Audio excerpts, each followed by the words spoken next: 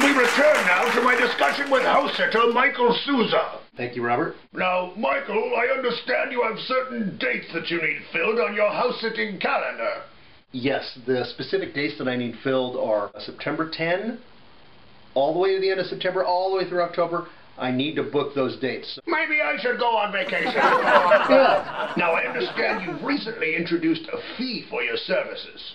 Yes, it's $25 a day. Per animal? No, that's for as many as five animals, which is an amazing deal. Well, you used to do it for free. That's absurd. I mean, you're providing a service. Yes, absolutely true. That sounds reasonable. It really is, you know, because uh, uh, kennels and, and doggy hotels, you know, they charge you per animal, which uh, makes perfect sense. Yes, that's what I've heard. But when I'm staying at your place, your pets get my care. And they're more comfortable. They get to go, uh, you know, on the same walks. They get to hang out in the same places. And they get to pee on the same tree. That's important. How much would you charge to take care of my five elephants? yeah. You're serious?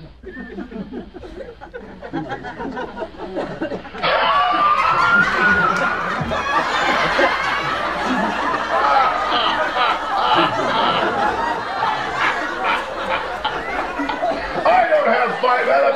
I was going to say it's going to have to be a little extra. I only have one.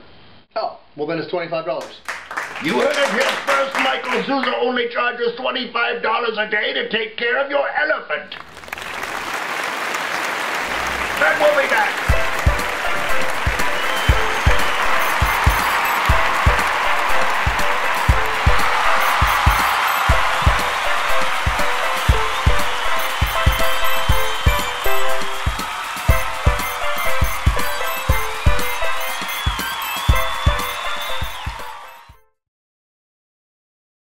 Used to interview presidents.